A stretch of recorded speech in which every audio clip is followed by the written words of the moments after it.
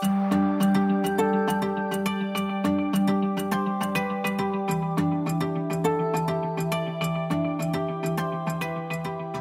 this is John Pitcher, I'm Nathaniel Roybal. We are retina specialists with Eye Associates of New Mexico.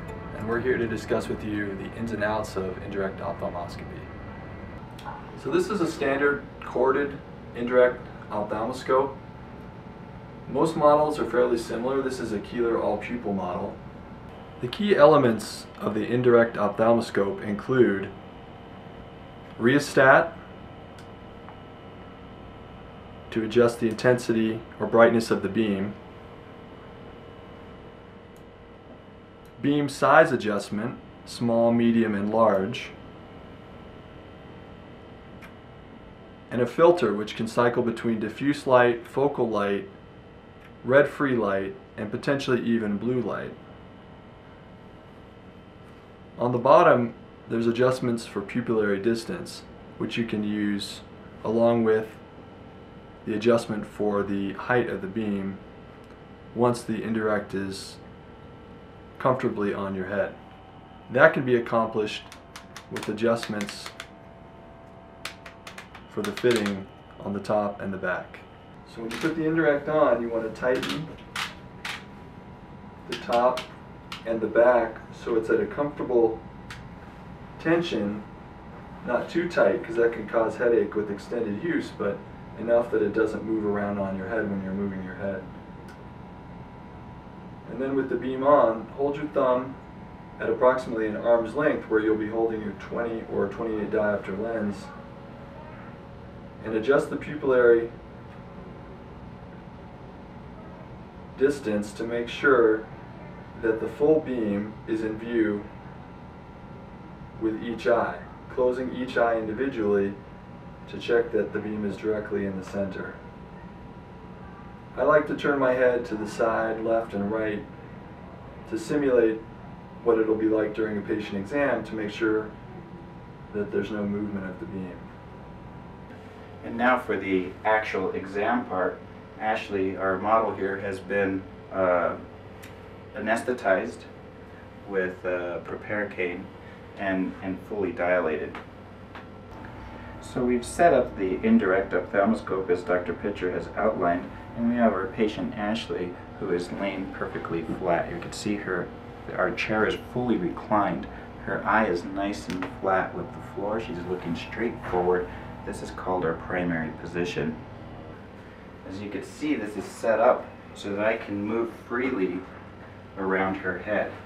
This is an ideal situation for a indirect exam. Now, for the exam, I want to first look at the posterior pole, the optic nerve and macula. And so with her looking straight forward, I'm going to get a nice view of her optic nerve and macula. Take note of my lens, how I am supporting first her lid, helping her open her lid, and I am supporting the lens by putting two fingers on her cheekbone, allowing me nice control of the focal length of this lens. Now, if I wanted to look at the superior retina, I'm going to ask her to look up. Sometimes it helps to point to the back wall.